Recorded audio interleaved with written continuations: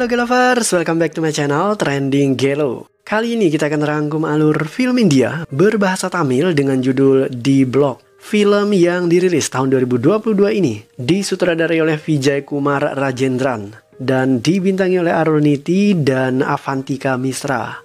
The Block terinspirasi dari kejadian nyata yang dialami oleh adik sutradara Vijay Kumar ketika ia tinggal di kampus berasrama seperti apakah keseruan dari cerita film yang satu ini? Penasaran? Nah Gelovers, makanya simak rangkuman alur film ini tanpa skip biar ketemu magisnya film ini. Dan jangan lupa subscribe agar bisa mendapatkan updatean film-film terbaru India lainnya spesial di channel Trending Gelo. Oke Gelovers, tanpa banyak basa-basi, kita langsung ketik happy.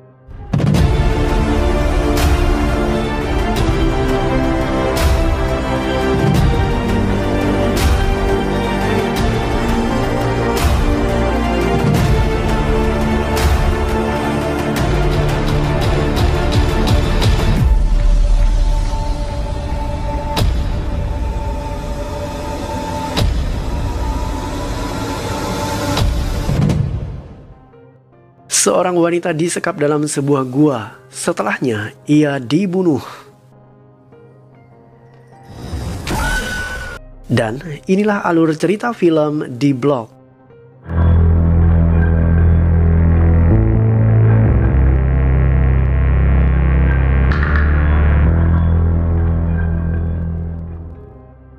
Arul adalah mahasiswa baru jurusan teknik elektro Kampusnya berada di wilayah yang dilingkupi oleh hutan lebat. Para mahasiswa di kampus itu tinggal di asrama. Asrama putra dinamakan Blok E, sementara asrama putri disebut Blok D.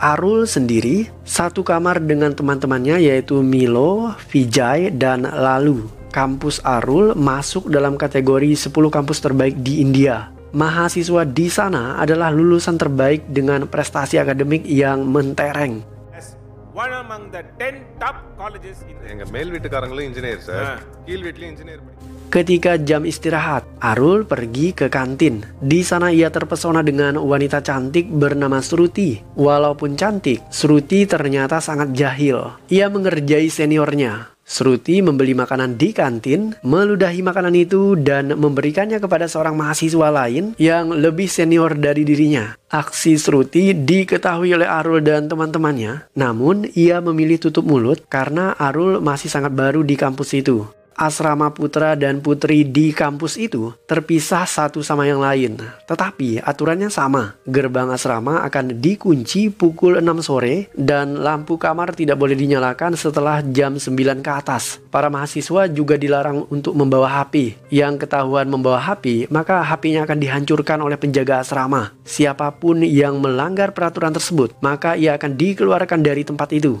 Sruti ternyata sekamar dengan Ria dan Swati. Saat malam tiba, Swati harus ke toilet karena ia kebelet BAB. Kebetulan toilet dan kamar mandi asrama itu berada di luar kamar dan berada di pojok gedung. Swati sebenarnya takut, namun ia memaksakan diri untuk BAB. Mendadak lampu rusak dan pintunya digedor oleh seseorang. Swati berteriak ketakutan yang membuat orang yang mengetuk pintu terpaksa pergi meninggalkan Swati. Teman Arul yang bernama Vijay dihukum oleh seniornya. Kesalahan Vijay sebenarnya sederhana. Ia hanya mengatakan jika wajah kekasih seniornya itu mirip dengan wajah bibinya. Vijay dianggap melecehkan kekasih senior tersebut. Ia kemudian diminta berlutut di lapangan basket. Arul tidak terima. Ia meminta agar temannya itu dibebaskan. Senior Arul kemudian menantang Arul untuk main basket. Jika Arul menang, maka temannya akan dibebaskan. Tetapi jika Arul kalah, maka Arul harus ikutan berlutut menemani Vijay. Aturan permainannya simple. Arul hanya perlu memasukkan tiga bola ke keranjang, tetapi ia harus menghadapi tiga orang senior yang menghadangnya. Arul menerima tantangan itu. Ia adalah pebasket ulung. Arul memasukkan dua bola dengan sangat mudah. Akan tetapi, giliran bola terakhir, Arul justru pura-pura gagal memasukkannya. Padahal bolanya sangat mudah dan Arul lepas dari pengawalan senior. Alhasil dalam pertandingan itu, Arul dinyatakan kalah. Senior Arul sadar jika Arul dengan sengaja mengalahkan dirinya dirinya. Ketika ditanyai alasannya, Arul mengaku sengaja melakukan itu supaya ia tidak menjatuhkan harga diri seniornya di depan para pendukungnya. Setelah mengetahui kebaikan hati Arul, senior Arul justru meminta maaf dan meminta Arul untuk bergabung di tim basket mereka. Suati mendengar suara di luar kamar. Ia keluar memeriksa. Di sana, Suati melihat sosok pria yang menyeramkan. Ia segera menutup pintu kamar. Suati memberitahu teman-temannya, tetapi mereka tidak percaya. Dan ketika mereka memeriksa keluar, memang tidak ada orang di sana.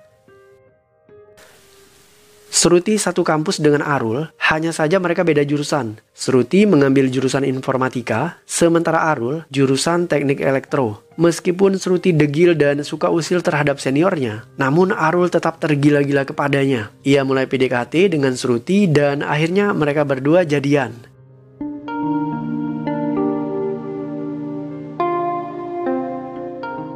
Malam harinya, Swati mencuci pakaian. Karena ruang jemuran sudah penuh semua, Swati terpaksa keluar dari asrama. Ia membuka pintu gerbang bagian belakang dan mulai menjemur di luar. Malam itu angin bertiup sangat kencang dan sejurus kemudian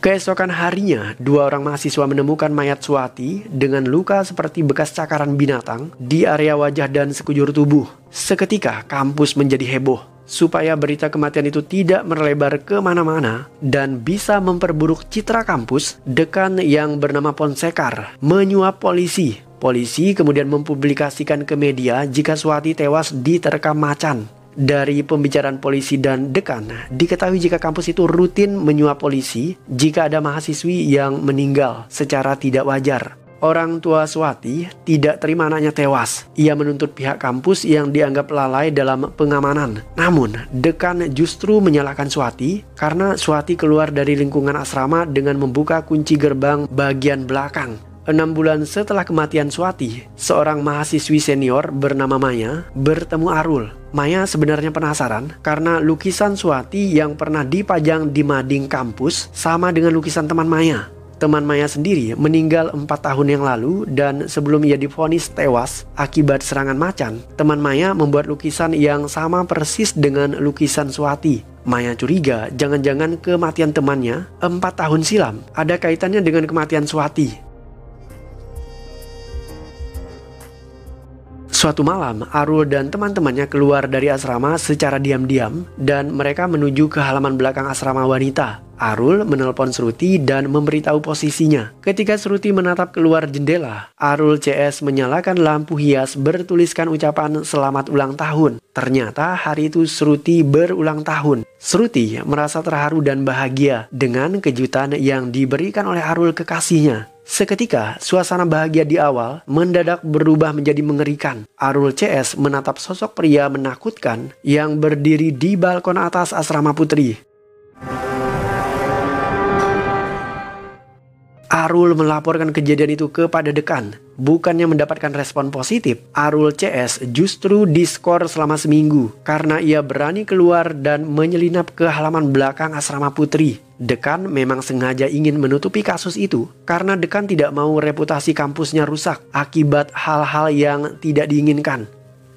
Tidak hanya dekan, bahkan penjaga asrama pun memarahi Arul Ketika Arul mengatakan bahwa ada sosok pria di balkon atas asrama putri, penjaga asrama semakin menjadi-jadi memarahi Arul. Satu-satunya orang yang meyakini jika Swati tewas bukan karena serangan binatang buas adalah senior Arul yang bernama Maya. Karena itulah Arul mencari Maya. Ketika diminta pendapatnya, Maya menyarankan Arul agar mencari dokumen terkait data mahasiswa yang masuk ke kampus itu. Jika ada mahasiswa yang tidak menyelesaikan studinya dengan alasan yang tidak jelas, maka kemungkinan mereka meninggal dunia, sama seperti nasib Swati dan teman Maya. Satu-satunya cara agar bisa mendapatkan data mahasiswa itu adalah dengan menyelinap masuk ke dalam ruangan dekan. Arul benar-benar nekat. Ketika dekan sedang makan siang, Arul bersama temannya Vijay menyelinap masuk ke kantor dekan. Ia berhasil menemukan dokumen yang dicari. Di saat bersamaan, pemilik kampus datang berkunjung untuk melakukan monep. Dekan akhirnya batal makan siang dan ia buru-buru menyambut majikannya. Pak Dekan kemudian membawa majikannya ke kantor. Dekan bersama dengan pemilik kampus masuk ke ruangan itu, namun mereka tidak melihat Arul yang bersembunyi di ruang baca dekan. Ternyata ruangan itu tertutup kaca hitam dan hanya orang yang berada di bagian dalam yang bisa melihat keluar. Arul dengan leluasa bisa melihat dan mendengar percakapan antara dekan dan pemilik kampus. Dari percakapan mereka,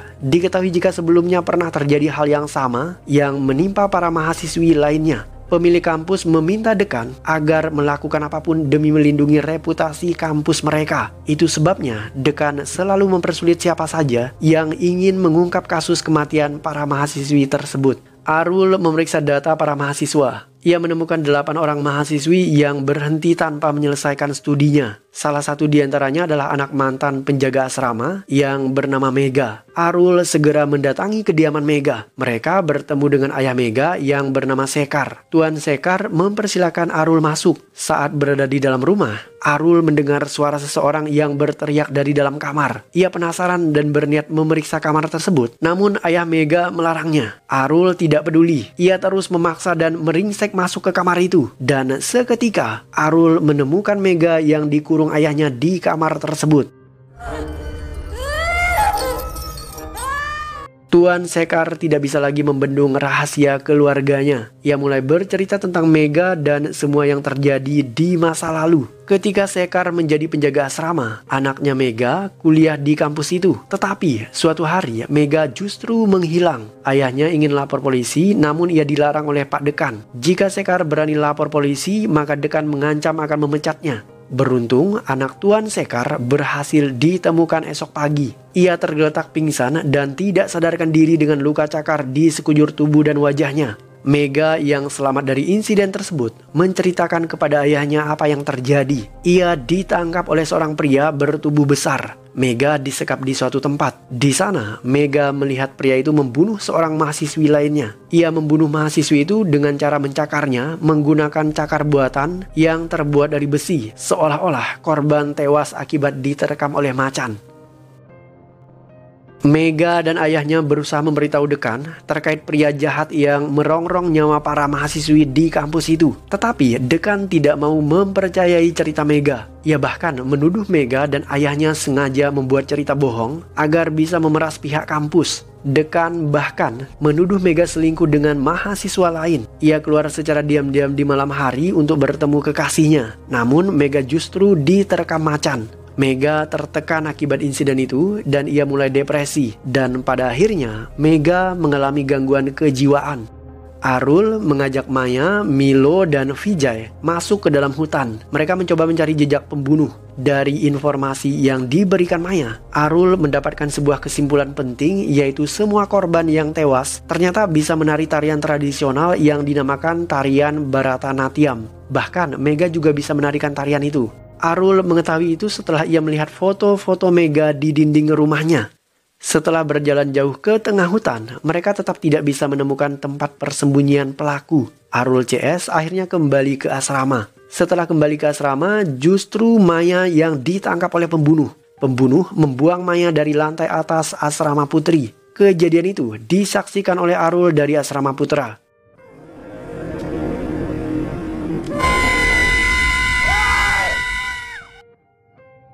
Kematian Maya tidak dianggap serius oleh pihak kampus. Mereka menganggap Maya bunuh diri akibat patah hati. Arul tidak bisa mengatakan apa pun karena tidak ada yang percaya kepadanya. Arul berusaha menggali informasi sebanyak mungkin tentang kampus itu dan misteri di balik kematian para mahasiswi. Menurut keterangan dari seorang pria penjaga kantin, ada sebuah insiden ketika asrama putri Blok D direnovasi. Seorang kuli bangunan yang bernama Kali mengintip mahasiswi yang sedang mandi. Aksinya itu kepergok dan ia ditangkap oleh masa. Kali kemudian diikat dan ia ditampar oleh mahasiswi tadi.